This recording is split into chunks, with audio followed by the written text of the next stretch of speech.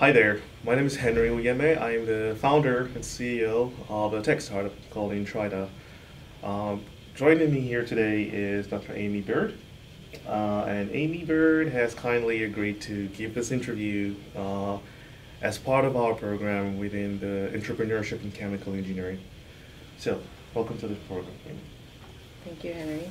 Uh, Amy, could you please tell us a little more about your entrepreneurship journey uh, from when you completed your PhD all the way to being an R&D engineer? Sure. So my name's Amy Beaird, and I'm a chemical engineer and work at a startup called Helicon Chemical Company.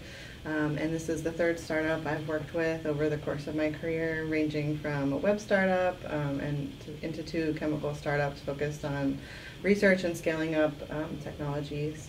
And in terms of my transition, it's been a really interesting time. Um, I think that chemical engineering prepares you uniquely for some of the challenges that you have to solve in entrepreneurship um, and just solving open-ended problems, Mm. um, learning information, analyzing information. Mm. Uh, so it's been a really key part of my entrepreneur journey. Oh, that's great.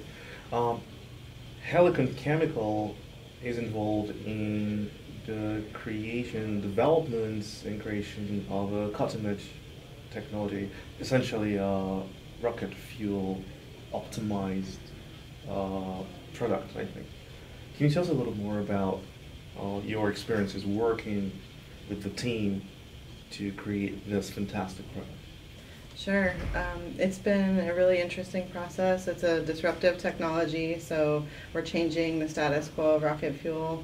And uh, we have primarily been government funded since 2012. Um, and as you know, that's a pretty slow moving uh, process. Uh, but we've been able to leverage the government funding to really get the product developed um, to where it's ready to enter the commercial space now. Yeah.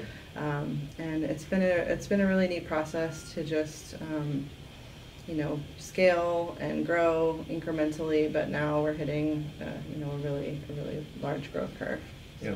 And if this has been within a, a large team or small team? So we have a pretty small team. We're about eight people right now, um, and that those folks range from business to engineering, chemistry, material science. Um, so really small team doing you know really big Yeah. big work. Yeah. Um, if there's any one advice you can give to aspiring uh, chemical engineers out there, uh, what would it be? Well, I think um, if you're a chemical engineer who's interested, particularly in entrepreneurship, the most important thing you can do is learn the business side. So you don't need to get an MBA, uh, you know, but uh, beginning to learn about finance and um, you know that side of the business, so that you're more prepared to go into leadership um, in a company, is really important. Oh, that's great. Dr. Amy Beaird, it's been fantastic having you with me today. I really appreciate your time and thank you for this. Um, thank you very much, guys. Thank you for having me.